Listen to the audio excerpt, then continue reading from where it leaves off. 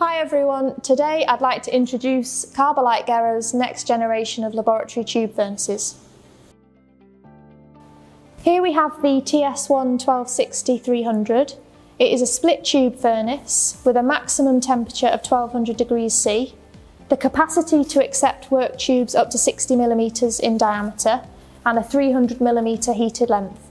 This tube furnace is just one in a wide range of new products including split, non-split and gradient tube furnaces.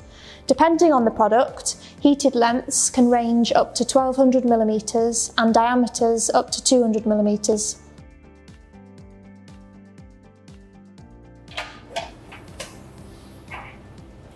This new product range benefits from increased thermal insulation, reducing heat losses and improving temperature uniformity and power efficiency.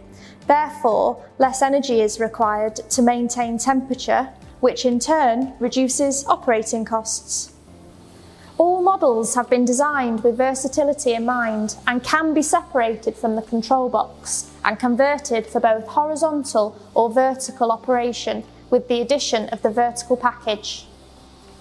Optional work tube packages enable the customer to select the right equipment for their process, with packages designed for use in air, gas and vacuum atmospheres.